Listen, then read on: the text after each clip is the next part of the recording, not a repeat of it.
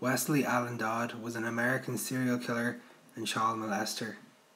He's gone down in history as one of the most evil men to ever live.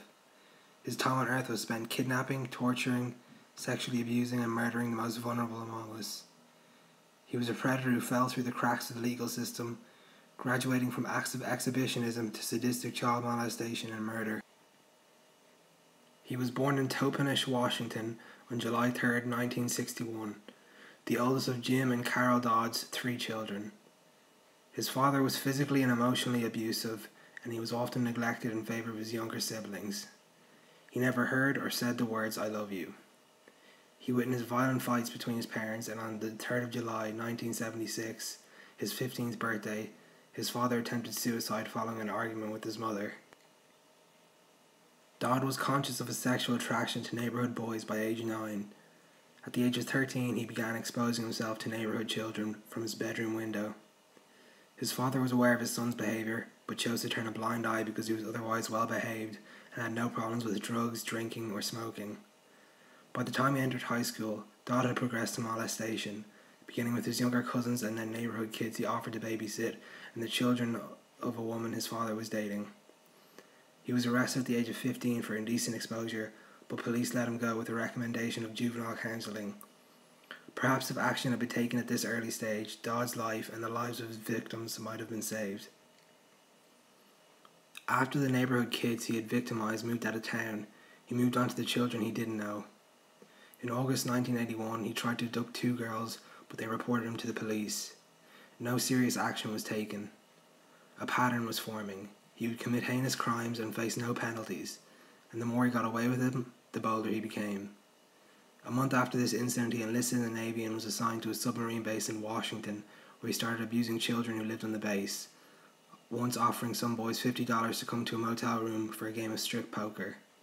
For this, he was arrested, but despite confessing to police that he planned to molest the boys, he was released with no charges filed. Shortly afterwards, he was arrested again for exposing himself to a boy and discharged from the Navy, Dodd spent 19 days in jail and underwent court ordered counselling. In May 1984, he was arrested for molesting a 10 year old boy, but received only a suspended sentence. Dodd planned his entire life around easy access to, quote, targets. He moved into an apartment block with many potential victims and took jobs that would give him access to children. He repeat- repeatedly molested the boys of a neighbour, but the woman feared that pressing charges would be too traumatic for the boys.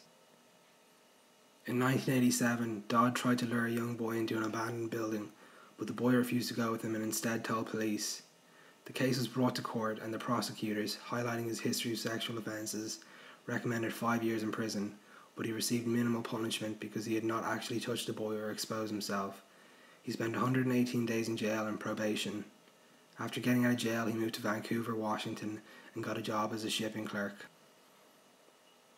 Dodd decided that David Douglas Park in Vancouver was a good place to find potential victims.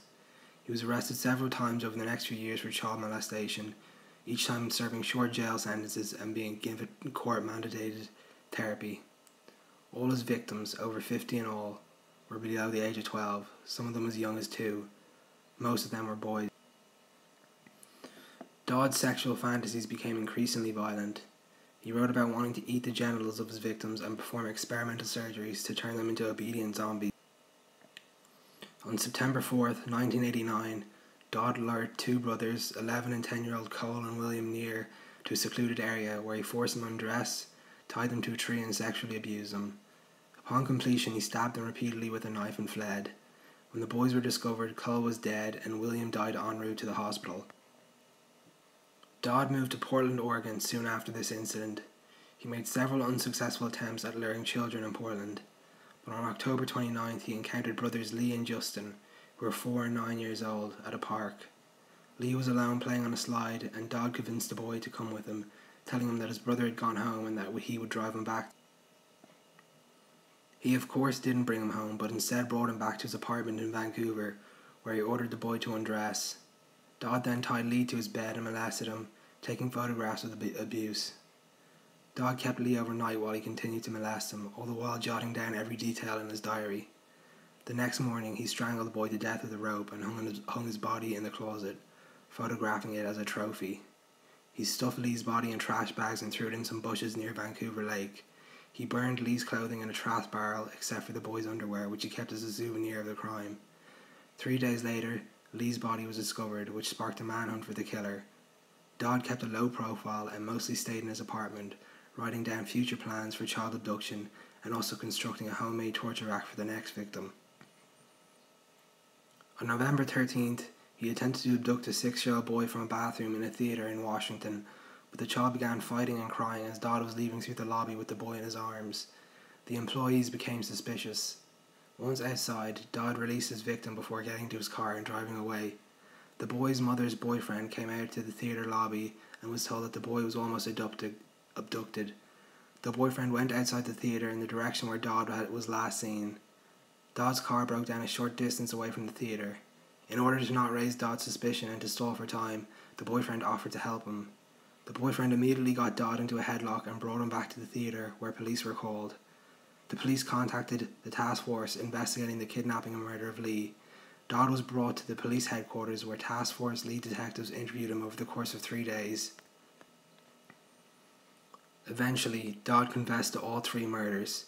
During the search of Dodd's apartment, police discovered a homemade torture rack along with newspaper clippings about his crimes, a briefcase containing Lee's underwear, and a photo album containing pictures of Lee. They also discovered Dodd's diary, in which he detailed the murders. Dodd was charged with first degree murder in the deaths of all three children. He pleaded not guilty to all charges but later changed his plea to guilty. During his trial, the prosecution read aloud excerpts from his diary and displayed the photographs of Lee. The defense argued that Dodd was legally insane. Prosecutors requested the death penalty, and the jury agreed. Dodd would claim that speaking in his own defense was pointless, and ultimately the system had failed repeatedly. He stated that he would like to die by hanging, and that he was willing to die if it brought peace to the victims' families. He was sentenced to death in 1990. Less than four years elapsed between the murders and Dodd's execution. He refused to appeal his case or the capital sentence. Dodd stated that hanging was the ideal method of death. During the interim, he wrote a pamphlet on how parents could protect children from monsters such as himself, and enjoyed giving interviews and reliving his crimes at any opportunity. Dodd was executed by hanging at 12:05 a.m.